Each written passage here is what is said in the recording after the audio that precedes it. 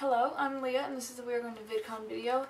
Uh, this week's theme is not saying uh and not saying um and not pausing and you're supposed to talk straight about, straight through, it's kind of fast, I guess, about something that you know a lot about. So today we'll be talking about makeup. Now if you don't like makeup, then just don't watch this video. I don't want a lot of hate comments or like, that's boring or whatever. So, I hope you enjoy. VidCon, VidCon, going to VidCon,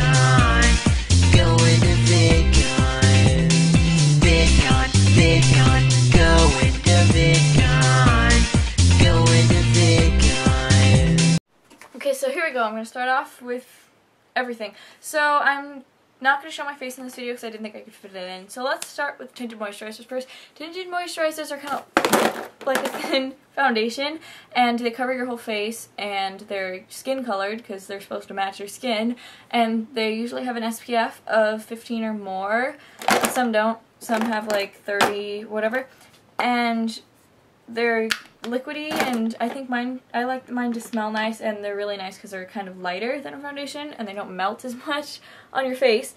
Nail polishes, we all love nail polishes. This is one of my favorites. This is Emerald Fitzgerald and this is, this is, what's it, what's it called, what's it called, what's it called, Wet n Wild. It's 99 cents. Next one is palettes. If you want, if you're looking for a nice neutral palette, I would recommend this one because this one's like three bucks from the drugstore and it actually works pretty darn good.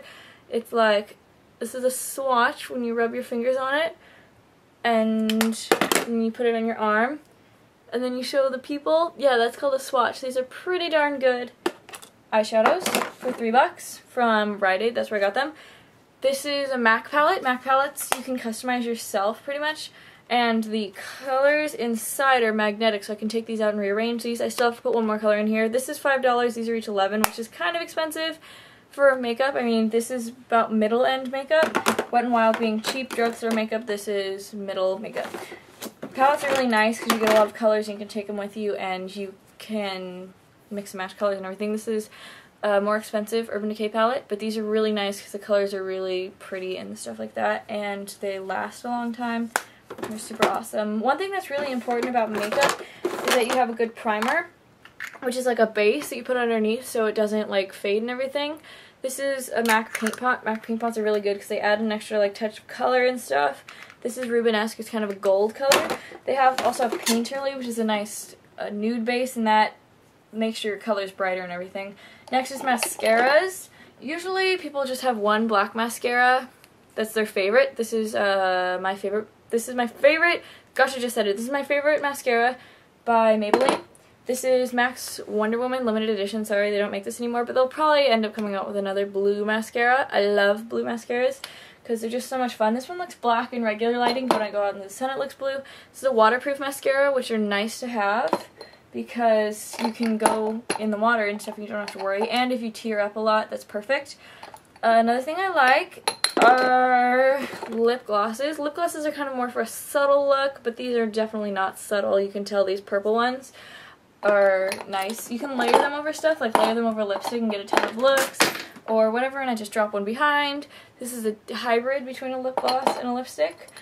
Another nice thing to have are eyeliners. So if you if you're new to makeup, I would recommend a bright eyeliner. Urban Decay has some nice sets. These are more expensive though. This is a blue by Flip, called Flipside, and it's I like it a lot. This is brushes. Brushes are very important to have. It's like being an artist you need something to put your product on your face. The brushes that come with your makeup, these little sponge tip applicators are crap. These are not going to apply your makeup. Everybody hates them. Yeah, so you do need these to put on your face. They're not that expensive. There are super expensive ones that are really nice, but you can buy cheap ones for cheap. This is tweezers. You need tweezers for your eyebrows and putting on fake eyelashes. I do like facial eyelashes. I don't wear them very often, but I do like messing around with them when I'm bored because they do complete looks. This is lipsticks. I like lipsticks because lipsticks are fun. You can get like a ridiculous amount of looks. This is uh, bright pink that I do like wearing quite a bit. I think I've worn this in a lot of my videos. This is a kind of golden. I like golden colors for summer because they're just super awesome. This is the Lady Gaga one. The Viva Glam from MAC gives money to the AIDS Foundation. There's this color and then there's kind of like a skin color tone that's out now and stuff like that. I keep on my packaging. what else can I show you? I think that's pretty much it. Are another palette from Wet n Wild that I like kind of a lot. Yep. So hopefully this video isn't super long. Oh, and another thing is eye makeup remover, which you really is really important. This is wipes you should get just to, for quick cleanup, and this is my heavy duty hardcore. You can use this every day, but I use that for whenever I do really bright makeup looks. And it's also important to have a good moisturizer like this. This is smells like oranges, which I really like. And I have an ant on my leg.